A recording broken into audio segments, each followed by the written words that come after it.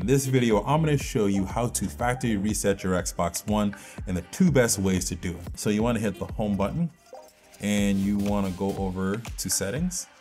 And then from settings, you wanna go to system, then the console info, and then you wanna end up here where it says reset console and click on that.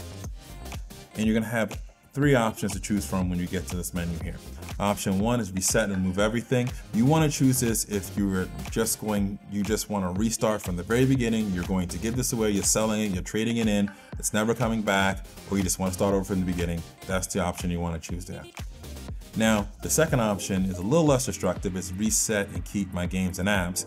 You can do that one there, and that will allow you to kind of reset it, your operating system essentially in the in the Xbox One, but keep your games and apps and stuff installed so you can just kind of get back to gaming again. That's sort of a semi-soft sort of reset. Now, before you do any of this, you want to make sure you back up any software, games, or anything to the cloud or to external storage that you want to keep before you do this wipe. Because once you do this wipe, everything is going to be gone. So definitely make sure you back everything up. Now, in this instance, I'm going to do reset and remove. And that's because, like I said, I'm sending this off to someone. So let's go ahead and tap on that. To several reboots, you see the console showing up as preparing console as it's going through the factory reset process. Okay, after everything's all set in terms of the wipe, what you should see here is asking you to press your Xbox home button. Basically, the console's reset back to factory settings, and now you can trade it in, send it off, whatever you need to do here with it in this particular method. Now I'm going to show you the second method here, which is using a USB stick to actually do a factory reset. And that's a bit of a different method. We're going to go over that right now. Okay, so start factory resetting using a USB stick, and we use this in a way if you didn't have access to the settings menu or you couldn't see what was on the screen, this is would be pretty much the last option we'd really want to use here. So the first thing you want to do is you want to head over to this website here. Um, I'll put the link in the description for this at, at the uh, support.xbox.com. Well, this says beta.support.xbox.com. But basically, you want to get to where it says how to reset your console factory settings on Xbox One. You want to scroll down here to where it says reset using USB flash drive.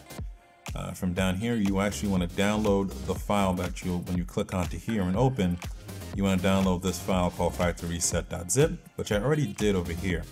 Now, once you've downloaded that file, you're also going to need a USB flash drive with a minimum of 4 gigabytes of space and formatted for NTFS. So I'd recommend using a drive that you don't have anything on, um, that you don't have anything valuable on, or back it up before you do this. So let's go ahead and minimize that. I actually have the folder up here already open, but I actually want to format my drive. You're going to need a PC to be able to do this.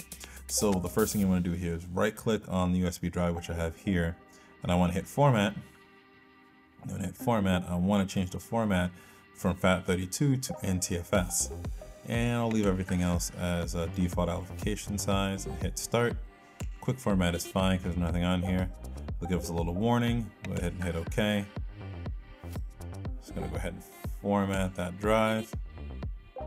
All right, once that format completes, which should take just a few seconds to do, you can actually right click over it again and hit properties and you check the uh, type file system, it should say NTFS. Once you've confirmed that, go ahead and take this entire system update folder and drag it over to the iDrive. You want to drag it onto the root, the main drive right here.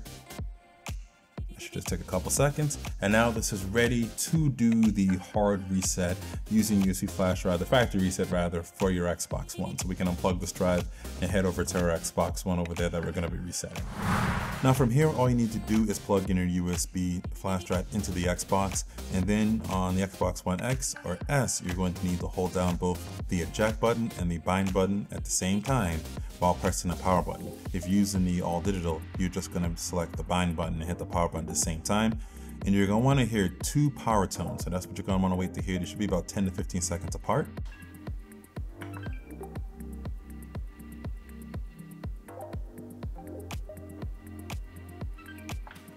And once you hear both of those, you can go ahead and let the buttons go and it should boot up into the recovery menu that you see here and give you a list of options, which would be very similar to the option that you saw when we did it inside the software here itself.